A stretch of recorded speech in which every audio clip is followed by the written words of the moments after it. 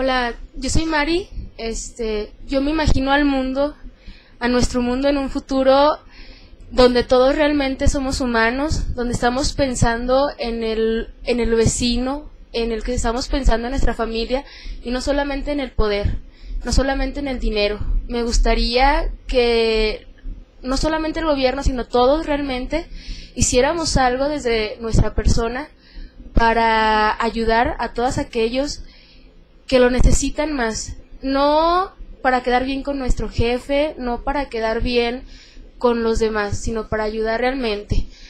Hacer acciones desde el corazón, tolerar, eh, ser honestos, sinceros, amar realmente, buscar lo positivo de nosotros para ofrecerlo al mundo.